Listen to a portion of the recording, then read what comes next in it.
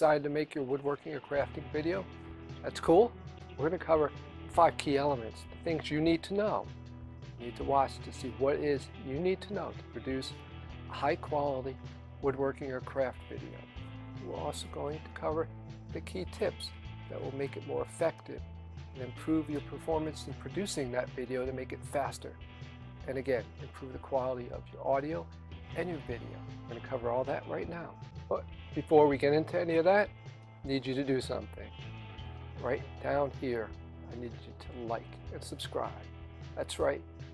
We're going to cover a lot of cool things. You want to be able to come back to this video and see all the other videos that we produce and get all that woodworking content and all the knowledge that we produce.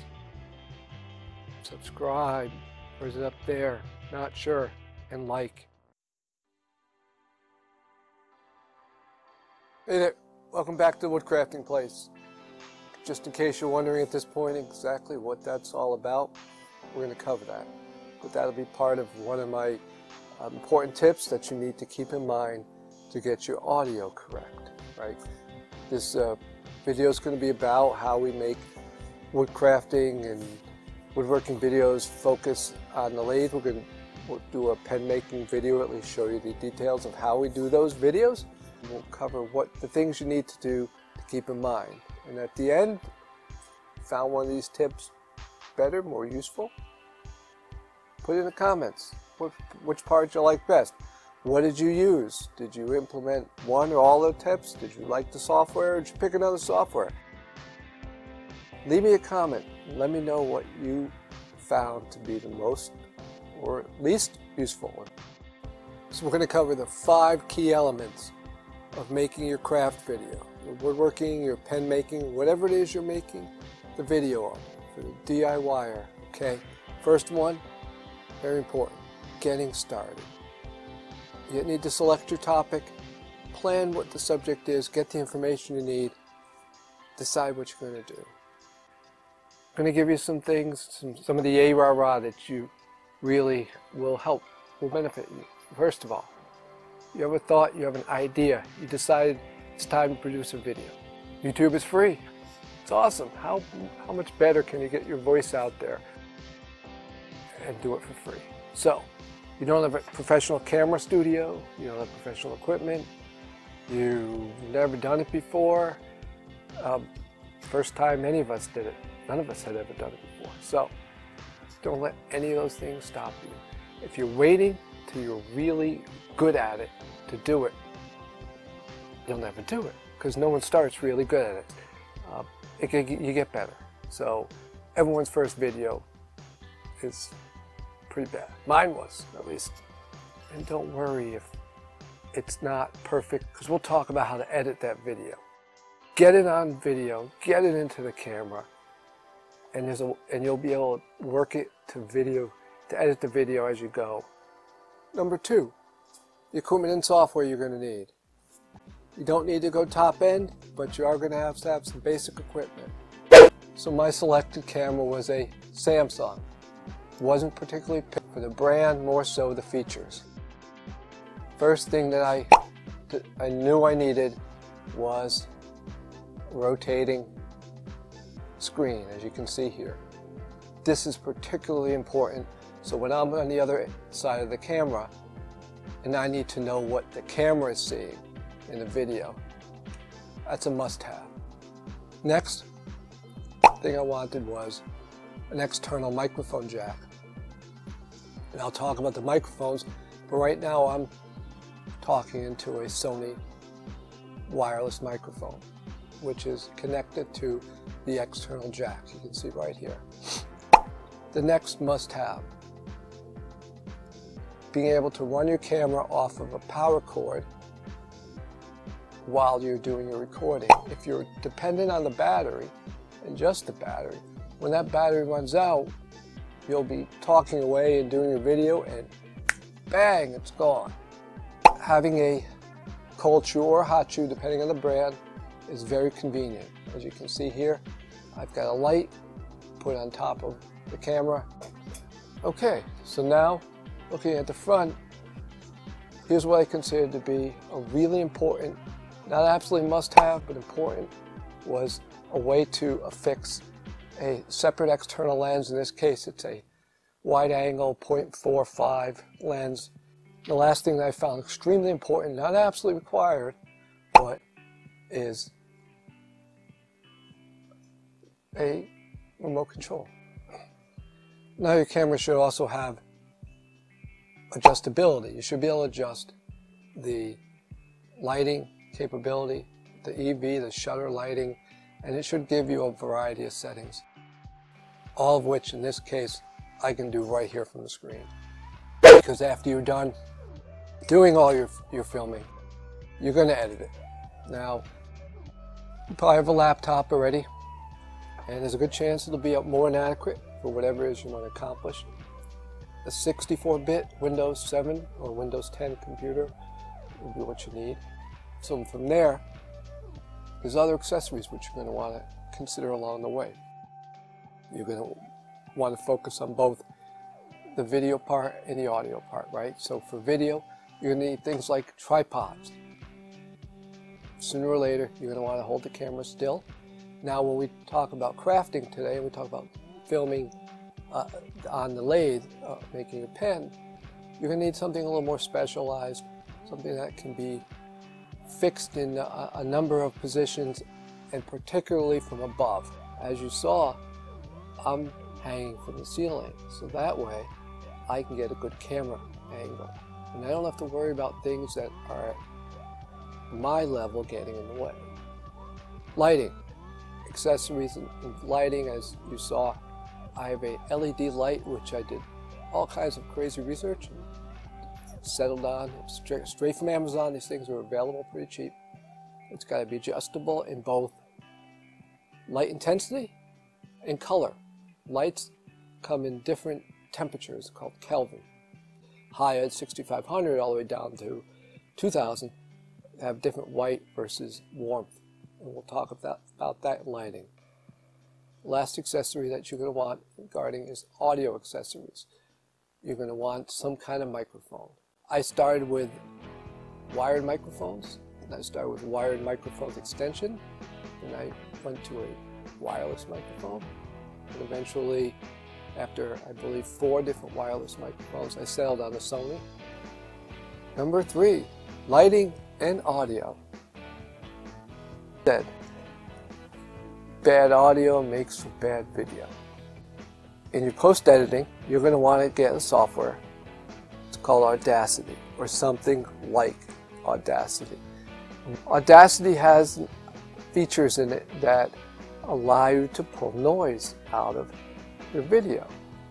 Out. So when you start making your videos, you want to give yourself five seconds, just dead silence. Because when you go in and edit your video later, you're going to find out it's not actually dead silent. The ambient noise will always be there. You'll use that five seconds to get a good profile of what your noise is.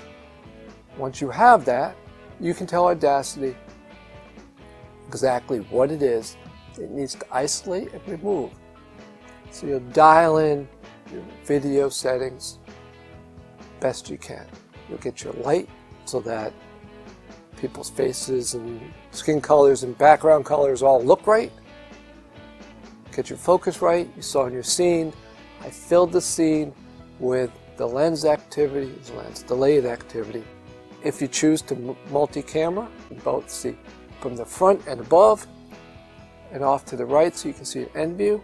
That way if you're ever leaning over your, your project, you always have a good camera angle. This is what you want to do first. You want to do a test. Get sample footage, audio and video, run a few minutes, run through your first scene, and then head off to the computer. It's a lot easier to get them right, this is critical, get them right at the beginning. Yes, you can do a lot of things in post-editing, but it's time consuming. As you're doing your, your, your recording, one thing you want to be aware of background noises, even quiet ones that you barely even hear or think of. Those will stand right out. Now, yes, you can remove a lot of that in post-editing. Audacity, remember Audacity, we mentioned that. Even Audacity is not perfect, what, ha what happens is the more ambient noise you target and the more times you keep trying to take more background noise out, it will eventually affect your vocals. Number four, filming your footage and how to get the right shots. So as you're making your video, you've already decided what you're doing and all that good stuff. So the first thing I do is get the camera dialed in to the location that I want, get my screen, excuse me, my scene set up, put the, my field of action, the thing I'm really trying to show, I make sure is center screen, right in my hands as you can see here. So we'll move off to the lathe and we'll show you the camera setup. Right now I have a single camera pointed here because the in front of and over view pretty much gives you everything you need to know. If you, you see the whole scene, you, I don't get in the way, I know that. And I can see in my viewfinder, I'm good. So let's take it off to the next scene. Just to give you a little uh, snapshot of what the camera setup looks like. Look off to the right, you can see tripod setup, that's for side angles. Those are particularly useful if you're going to use two camera angles, showing a end view of whatever you're, you're doing, whether it be working on the lathe or some other woodworking project. So let's get up close and you can see the camera angles now. Okay, so now you're getting a good view of what the up close camera angle is and if we're going to make our pen today or whatever it is that we're crafting.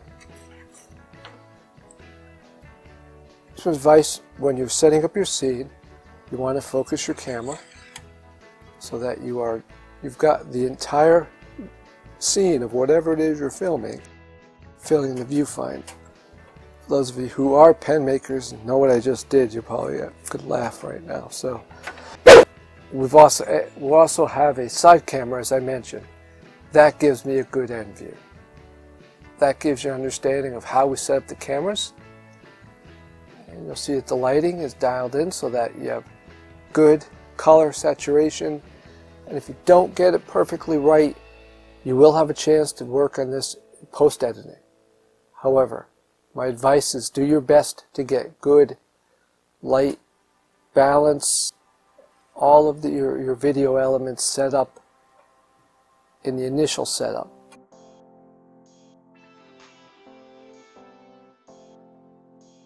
And number five, post-editing your audio and your video once you have it all compiled and ready to go and producing your video.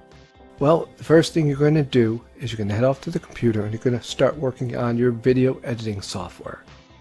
For those of you just starting out, I highly recommend you go here and give this software a try. This is Movie Maker. A lot of people with older Windows computers, take a look. You might very well have this free software already embedded in your system.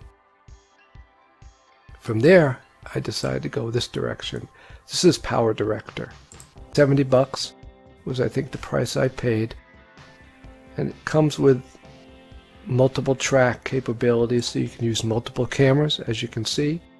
Now the awesome thing about this software is, and here you have two tracks. Now you can imagine that might get a little tricky synchronizing those. So, but this software has a great feature. You can see here. Go to clip. I select two of them. There we go and you have this feature right here. It's called Sync by Audio. This software will actually go off and compare the audio of the two different video files which you recorded simultaneously and it will line them up perfectly.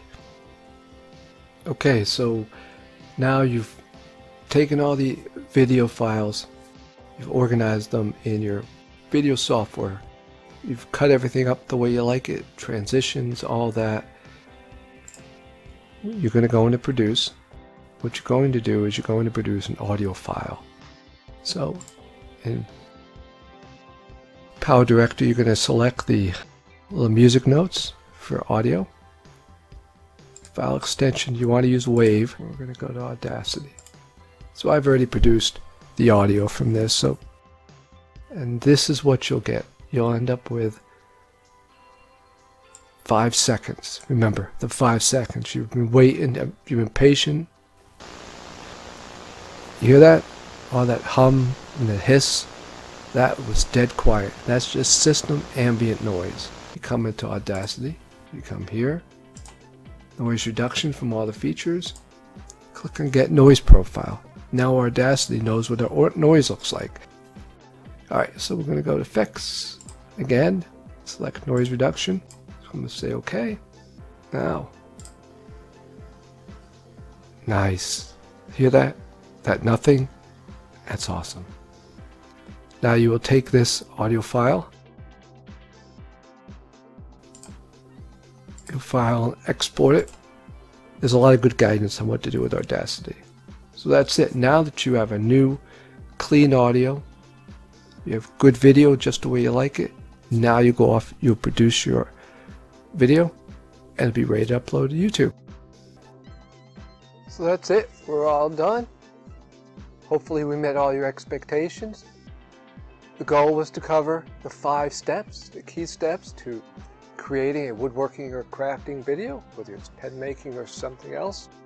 We covered the first step of getting started, picking your video, deciding what the topic that you're comfortable with and that you can actually share with the world. The equipment that you'll need, step two. The camera, some of the must-haves, we talked about that. Step three, dialing in your audio and video getting all of the settings the way you need them so that you get good sound, good color saturation, that you can minimize your post-editing when, when that time comes. Step four, getting your scenes so that the scene that you want actually fills the viewfinder. And last but not least, the post-editing, right? We talked about Audacity to help tune in your audio after the fact because there's always noise. We showed you that. What we thought was once a nice quiet scene turned out to be filled with hum and hiss. Five key steps. Which one did you use? Did you like any of those? Did you disagree with any of them? Leave me a comment. If there's some that you need more explanation on, you want me to do an additional video, I'd love to hear from you. I'd love to do that video. And of course, we covered some tips, some important tips, five important tips. Use these tips and you'll improve your video. You'll be able to improve the time and be more efficient in publishing your videos.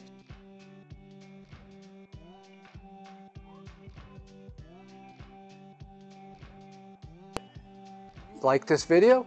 Hit the thumb. Share the like. It's your turn. If you liked what you saw, it's time to like the video. You want to hear more woodworking knowledge? You want some more guidance is something you want? Subscribe, hit the bell.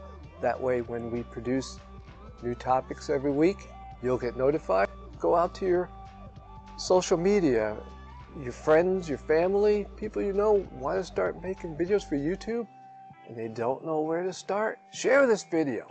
Send it out there and link back to it want to bring the knowledge to everyone we can. So, again, like and subscribe. We'll see you again soon in the next video. Thanks for watching.